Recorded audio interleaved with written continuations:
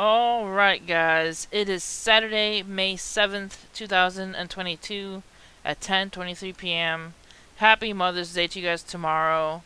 I hope you have a beautiful day. And I'm sorry that now comes the doom and gloom news. it's like Happy Mother's Day.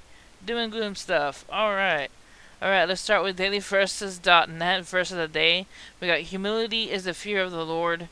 Its wages are riches and honor and life. Proverbs 22 4.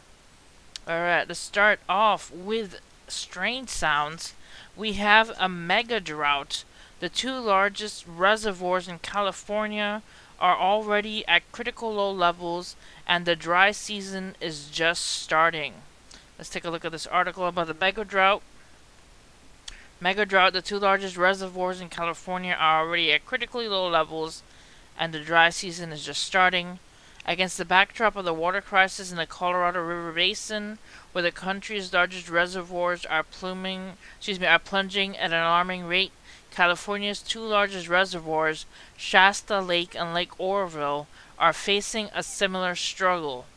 Years of low rainfall and snowpack are more intense heat waves have fed directly into the state's multi-layer, unrelenting drought conditions rapidly draining statewide reservoirs. According to this week's report from the U.S. Drought Monitor, the two major reservoirs are at critically low levels at the point of the year when they should be the highest.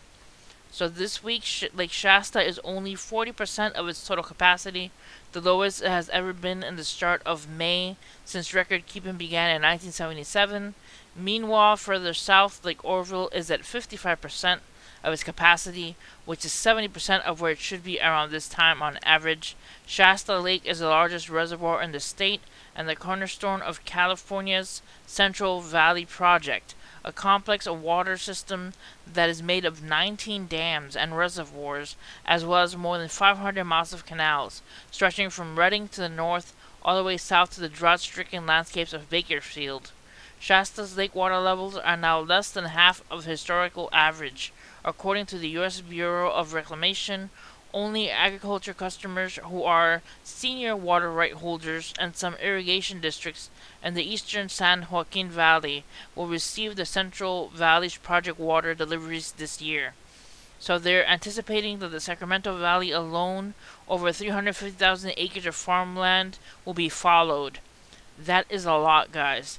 Over 350,000 acres of farmland will be followed, uh, said Mary Lee Knecht, Public Affairs Officer of the Bureaus of California's Great Basin region.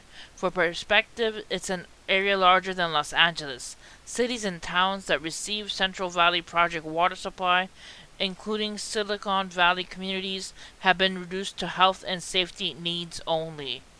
That is a lot at stake with a plummeting supply, said Jessica Gable with Food and Water Watch, a nonprofit advocacy group focused on food and water security as well as climate change. The impending summer heat and the water shortages, she said, will hit California's most vulnerable populations, particularly those in farming communities. Alright, guys, so California's most vulnerable populations, particularly those in farming communities. That means that food could take a hit if farming communities will not get water. So that is that's a dangerous sign. It says communities across California are going to suffer this year during drought, and it's just a question of how much more they suffer. It's usually the most vulnerable communities who are going to suffer the worst. So usually the Central Valley comes to mind because this is already an arid part of the state with most most of the state's agriculture and most of the state's energy development, which are both water intensive industries. Only 5% of water will be supplied. So that is pretty intense, guys. Look at this whole region of of the map uh, with extreme drought and severe drought. That's the orange and reds. That is so sad. Oh, okay, let's go back to the Strange Sounds page.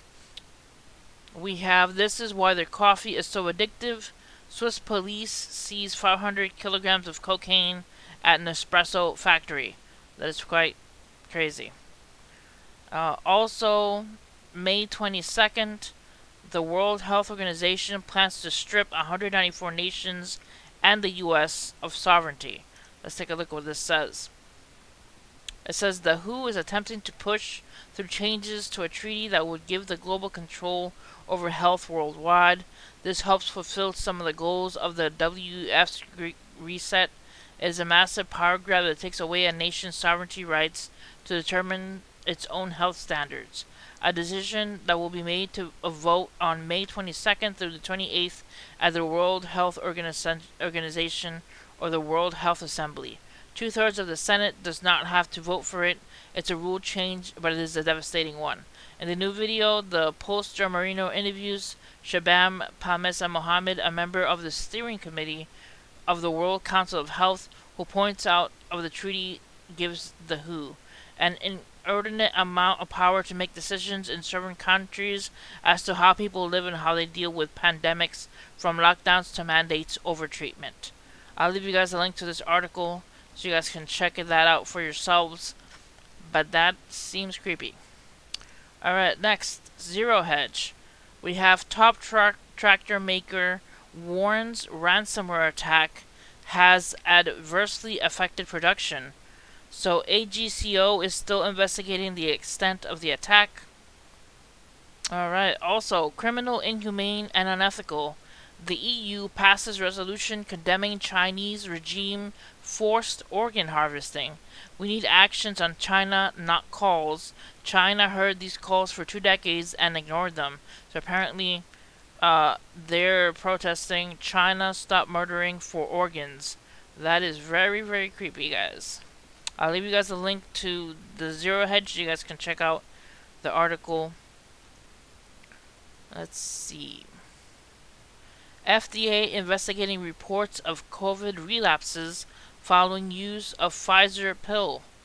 A surprising rebound of viral loads and symptoms. Hmm. Alright, and also poor rail service threatens U.S. economy, shippers tell federal regulators.